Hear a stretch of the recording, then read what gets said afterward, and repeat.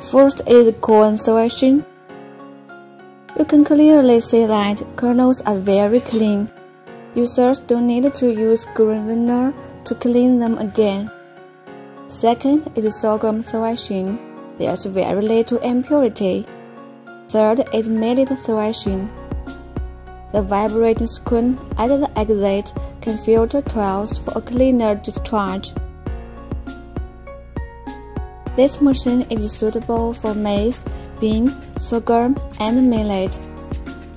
Farmers just need to change screens with different shapes.